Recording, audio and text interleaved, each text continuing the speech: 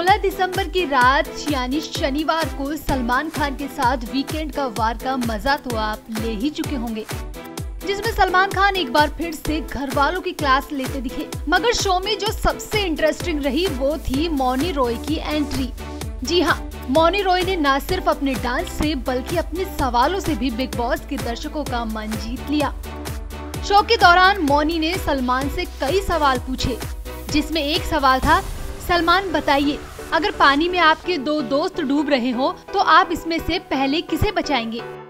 मौनी ने फिर दो दोस्तों की फ़ोटो भी दिखाई, जिसमें से एक फ़ोटो में खुद मौनी रॉय थी तो दूसरी में कटरीना कैफ। इस पर सलमान ने मौनी की ज़बरदस्त फिरकी ली और सलमान ने कहा, मैं विपाशा बसु और कटरीना में से किसे बचाऊँगा?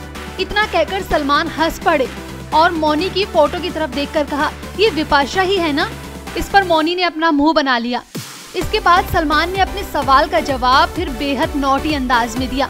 सलमान ने कहा, अगर मौनी और कटरीना पानी में डूबेंगी तो कितनी खूबसूरत लगेंगी। मैं बचाऊँगा नहीं, बल्कि खुद ही दोनों के साथ डूब जाऊँगा। इसके बाद मौनी हंस पड़ी। वहीं इसी दौरान सलमान और मौनी ने मिलकर दिल दीवाना सॉन्ग पर डांस स्टेप भी किए। अब रविवार की रात, यानी 17 दिसंबर को मौनी बिग बॉस के घर के अंदर जाएगी और घर वालों की खूब खिंचाई करती दिखेंगी। Flame media report